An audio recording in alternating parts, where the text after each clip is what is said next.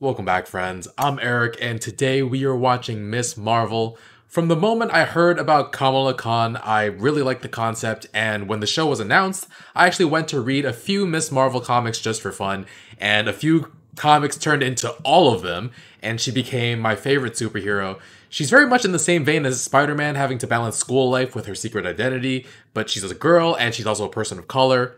And she's a politically minded hero as well. One of my favorite little moments was when she did a Get Out the Vote uh, campaign to help a grassroots politician defeat someone who was deeply, deeply corrupt.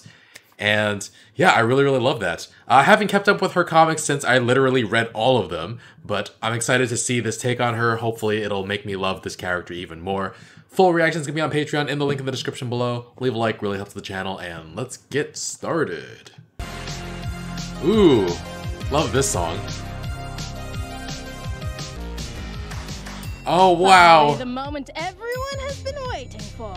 The Avengers were trying to save the world, but if we're being honest here, they were losing. Due to my extensive research and my diligent studying of Scott Lang's podcast interview. Scott Lang Pretty cool interview? She punched Thanos right in the face. Avenger I will Con. be dressed as Captain Marvel, obviously. Next week, I'm gonna kick off a special two-part series of why Thor is secretly a gamer. Remember, new episodes drop He is. every week. Be sure to like, comment, and subscribe at Slap Baby. She's a YouTuber. Hurry up, you're gonna be late for your driving test. Oh, she lives in New Jersey, so she has to drive. Bless you. Bless you. Whoa! Really?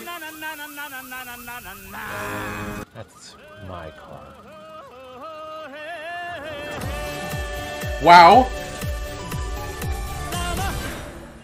Oh no. You set her up to fail, having her drive in the street with all the other cars.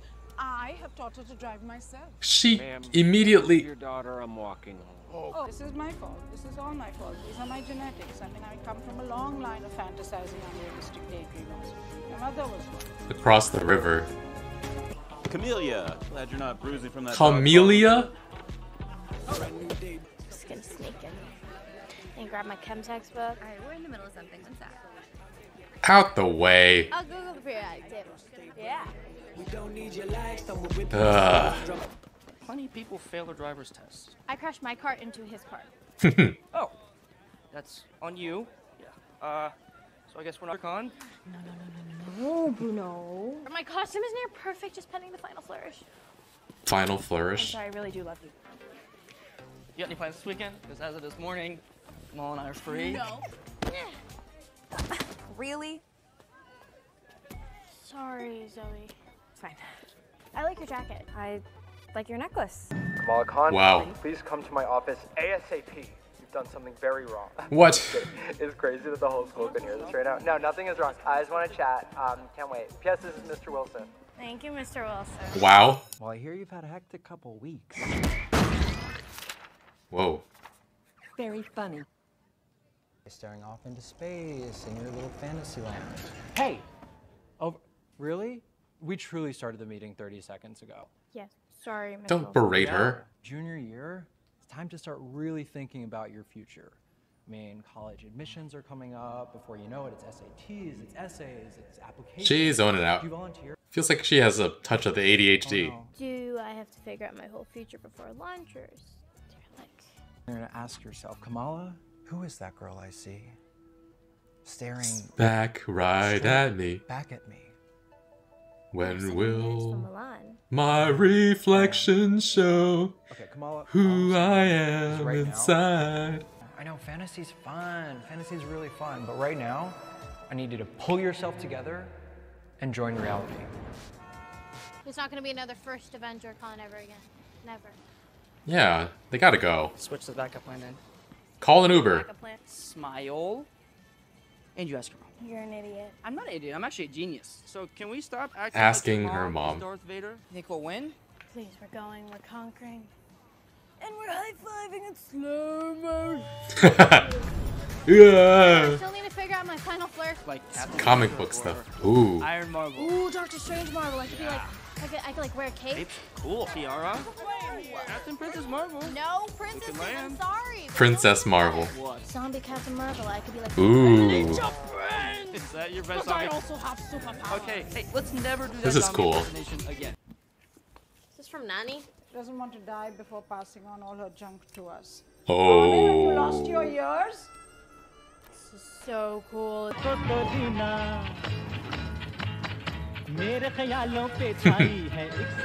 Uh, to be a teenager and have to help out with chores. Uh, halal food. She's off gallivanting through Europe to discover herself. what, what, what, what does she have to discover about herself? Good for her. I mean, she wanted to travel the world and she went for it. Zuzu. Designed your own Siri or Alexa. And I programmed it to understand Urdu. Urdu? Yeah. Wow. Are you staying for dinner? No, no, I got some work. Okay, I'll pack you something to go. No, no, I'm good. No, no, of course. Aw. At the bottom for no now, oh, okay? Aw. How did you do that so fast? Stick to the gizmos, beta. This is my secret. okay. All right, I'll see you soon. See you No, help her ask. Help her ask. So there's this thing called AvengerCon. You know, it's it's really something incredible. It's it's never been done before. Is this a joke? No. Is Bruno recording this for internet? Oh my god. No. She's you do trust me, 16. No, I don't trust you. Of course she does. No, I don't. She does. We do. It's just that we don't trust anyone else. Beta, you're still young. And this is Uh. How exactly will you be dressed? As Captain Marvel. Huh? Cap Captain Marvel. Captain Marvel. Captain Marvel is the She's 16. To have to ask permission? Can you help her sneak out for it? I'll talk to them. Really? Yeah, I mean, you look kind of pathetic. Thank pathetic. you. Yeah, kind of pathetic. I got you. Aw. Uh, are you gonna make things worse? I feel like you're gonna make things worse. Wow. I really like the way they're shooting this. Ah, don't stop in the middle of the street. Who stops in the middle of an intersection to text? Dot dot dot. Oh wow, this is really cool.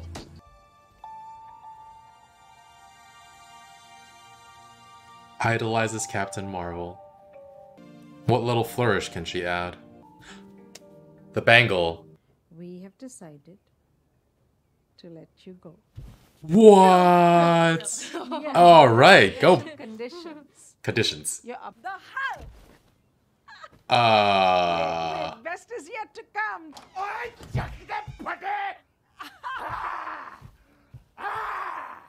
Oh my god. So cute. oh my god, this is mortifying. This is mine and Bruno's thing, okay? Come on, Butchie. And you can't come with me. Not just like that because it is so humiliating. Didn't mean it like that. You're not going to dress up like all those other girls in skimpy outfits. That is not you. Let her decide who she is, and Captain Marvel's outfit is not even the tiniest bit skimpy. You're not going. Yeah, but maybe they're right. Maybe I spend too much time with fan art and costumes with my head stuck in fantasy land. You're a kid. He's Dressing up as Captain Marvel's weird. No, it's not. And it's childish, and I know that, okay? No. And let's be honest, it's Aw. not really the brown girls from Jersey City who saved the world. It can be. Sure they do. You're Kamala Khan. You want to save the world?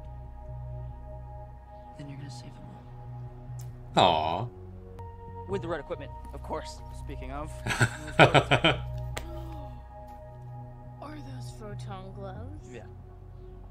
Do you want them or? Yes. Aw. Bow. See? This is cosmic. This is cosmic. Get up. We're getting out. We're Okay, getting well, out. Listen, they don't shoot real photon gloves. Whoa. I did not. Switch the TV. Oi, yaar. Kamala, please tell Bruno the Zuzu is possessed by the evil jinn. He needs to fix it. Always Idea. Idea. This is the plan. Kamala, you're the best sister ever. Honestly, you should have been an only My child. Kamala is the Wow. best daughter in the whole wide world. Oh, Stop, please. I'm By 555, I suit up in the greatest Captain Marvel costume the Earth has ever seen, and like, don't worry, it'll be finished by then. I hope. you and your fancy Zuzu system are gonna be my Oh. So when there's a knock on the door, don't come in, I'm changing. Finally, you being a genius is coming in handy. What do you mean final? Finally. Biking off a bridge onto a Dream bigger, Bruno. Then at 8 p.m., the real reason we're here, the reason I learned to sew and you learned to airbrush the cosplay competition. I win, obviously. Collect my crown. I'm assuming it's made of real diamonds. I'll sneak back into my room just before my dad comes in at 9:22 p.m. That's the plan. Got it? Oh, hey, that is a plan, I guess. Does how we get there even matter if you haven't finished your costume yet? Maybe something Pakistani? Aw. It's radiating energy. The day of AvengerCon. Oh, oi, oi! Cheese it!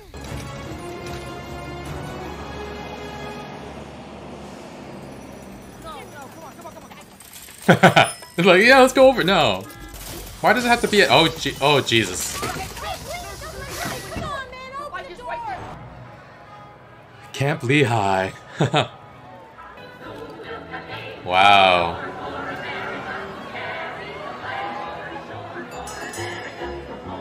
This seems like a lot of fun.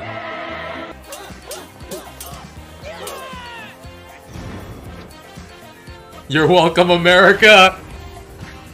America's ass! Thank you for your sacrifice. I can do this all day. I can do this all day. Captain Marvel. Aww.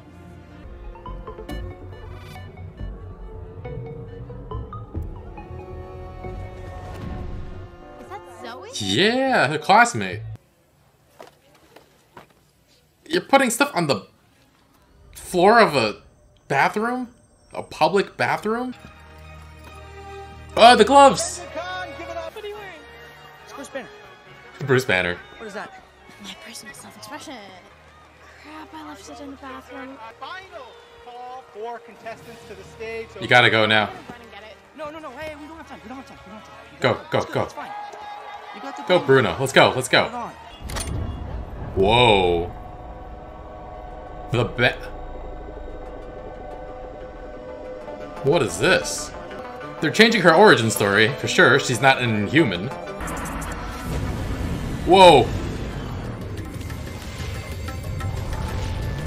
What the heck?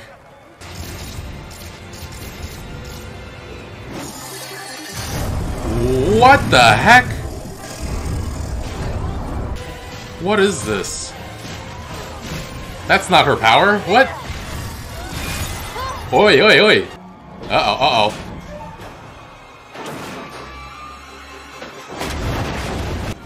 Wow, and I thought that my Captain Marvel costume was gonna make people stare. Oi. Oh, oi, oi, oi. Oh, yo! Oh she just let her get hit by it? I thought she was gonna get her out of the way. Whoa. What the heck?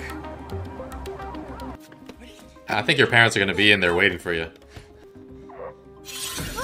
Whoa. 11 11? That's so much later. Where have you been? I'm trying to protect you from yourself. I've seen what happens when people get obsessed with their fantasies. I know, you're just gonna tell me some story about Nani. When your rules are too strict. Stop fantasizing. Do you want to be good, like we raised you to be? Or do you want to be some, you know, this cosmic head in the clouds person? When the rules are too strict, it's inevitable that she's gonna break rules and lie. Ah, it's a fantasy no longer. Cosmic. This is so weird.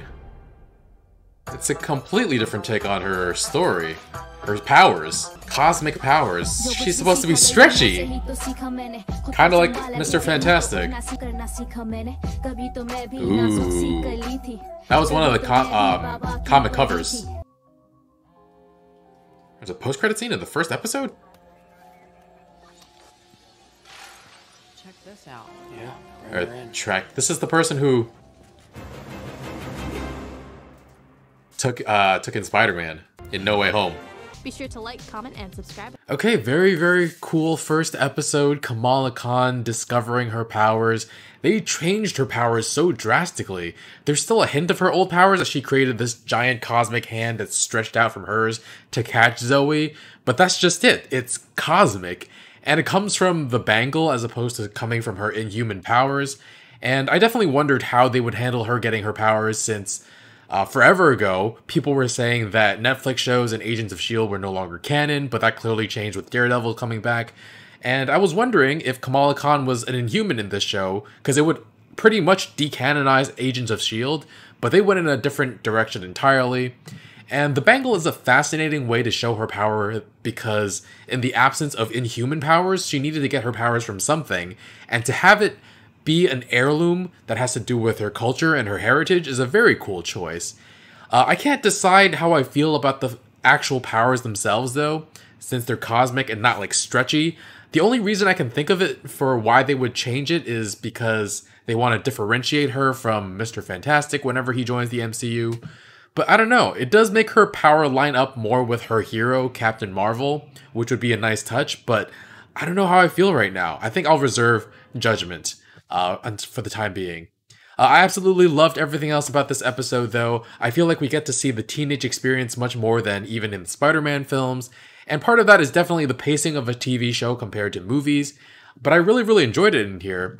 Uh, they had a lot of comic book flourishes happening, the moving street art, neon signs depicting Kamala and uh, Bruno's conversations through text, and it reminded me a little of the graphic novel flourishes in Heartstopper, but just in a very, very different style and obviously a much higher budget.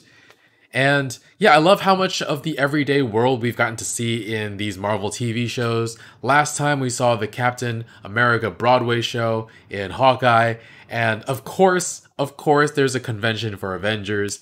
Uh, no special guest appearances though. None of the Avengers wanted to come. I feel like Scott would eat that attention up for sure. Uh, speaking of Scott, though, an interview on a freaking podcast that is so so Scott. Uh, love the Hot Ones interview of Paul Rudd. I imagine it's something similar to that. And yeah, I miss Scott. Like we haven't seen him since Endgame, right? At least not in this universe. I think he was in What If uh, for like three or four episodes, maybe. Uh, but yeah, really appreciating the depiction of this Pakistani family. Uh, I get to complain more about overbearing parents, and they're also really overprotective. Like, she's 16 and isn't allowed to go with her friend to Avengers Con. Um, they don't want her to explore her interests, telling her how much she needs to focus on herself and her future, telling her she needs to not have her head in the clouds and fantasize. I mean, like it's not a fantasy. These heroes are real. These heroes are real. They're here. Like the world is completely different than the one her parents grew up with. And even if she didn't, even if Kamala didn't wind up getting powers, she could have been an expert on heroes. Her YouTube channel was just starting, but I would subscribe if it was real. And yeah, there are a lot of possibilities that could come from her passion about this. And yet it feels like they're determined to quash her passions when she's 16 years old. it's really frustrating. Uh, it does feel like Kamala has a bit of ADHD. Uh, her mother even said it's genetics. She comes from a long line of fantasizers. It could be that her grandmother had some power and that's why she was fantasizing. Maybe she put on the bangle at some point as well. You saw a whole bunch of people when uh, Kamala put on the bangle and slipped into this other universe. Uh, but yeah, ADHD is also genetic. Um, but in their case, it's probably undiagnosed in Kamala and her mother and her grandmother. Uh, I kind of sensed it right away when um, they started talking about it. So seeing Mr. Wilson or Gabe be like, "Hey, we literally just sat down 30 seconds ago. Like, you got to pay attention." He he got kind of snappy, and it kind of sucked to watch, um, especially since I think in the weeks after I watched Everything Everywhere All at Once, I've started to notice that I have some ADHD symptoms as well. Uh, hyperfixation, difficulty focusing, losing my train of thought, pain when my mind is understimulated. Um, so yeah, I wonder if that has anything to do with why I watch YouTube videos at like two times or even three times speed sometimes. Anyway, that's unrelated. Um, but yeah, really enjoyed Kamala's friends. Uh, I know I loved Nakia in the comics. Zoe is actually a Captain Marvel fan too, but she and Kamala don't get along too well right now. That will probably change in the future. And Bruno was really sweet. He had the laziest Bruce Banner costume, but worked so hard on Kamala's costume for her. And yeah, he even really understood, like, forget the gloves that you left on the bathroom floor and go win this competition. And there's also some romantic tension there too, is really cute. They're still kids. Um, I mean, they're teenagers. They, they have hormones at this point, but it's cute. Um, the sweetest moment, though, had to be when Kamala said, It's not the brown girls from Jersey who save the world. And he said, Sure they do. You're Kamala Khan. And, ugh, like he sees the light in her, she's, he sees the strength in her. And I think that scene was really emotional. Um, but yeah, poor Kamala having to sneak out. When the rules are that strict, there is no choice but to break the rules. Like, that's on the parents. I'm sorry. It's ridiculous that at 16 she can't go out and have a night with her friend at a convention. I mean, the worst we thing we've seen her do is daydream a little, and her yet her mother is like so incredibly distrusting of her. That honestly made me sick to my stomach to watch and they did they did try they tried to meet her halfway with dad hulk and it was sweet yet probably a little misguided. Like no kid wants to have their to be chaperoned at 16 right? It's kind of humiliating. But you also feel really bad for the dad in the moment uh, when she said it would be humiliating because he tried so hard. And even though it's not humiliating in the way that uh, she meant they felt they felt like they she was ashamed of her of them and uh, that really sucked. Um, I also don't know any cons that start at night. I haven't been to any that's are open that late even. Uh, but once we got to Avengers Con, it was pretty fun. Uh, we got to see Avengers ass, America's ass rather, and a tribute to Natasha and Tony. That was really sweet. Uh, I feel like the world hasn't acknowledged Natasha enough, and so seeing that her next to Tony, that was really nice. Uh, but this episode definitely sets things up uh, for some interesting dynamics for the rest of the series. Kamala definitely loves her family, but they're also so overbearing, and so she now has to balance that with her newfound powers and being a hero, which is going to be so hard to hide given that she's likely grounded after sneaking out. And she's also picked on in school, not one of the popular kids. She has her religion, uh, and a different set of expectations put upon her for who she's supposed to be compared to a lot of other kids. Um, and that's in direct conflict for who she wants to be. So we'll see how this all works out. Um, this episode, though, just had so much style and personality, so much color to make everything feel really comic booky, and I'm really looking forward to see where we'll go from here. Can't wait till next week. Full reaction is going to be on Patreon in the link in the description below. Leave a like, really helps the channel. I'm going to go back to bed. Bye, friends.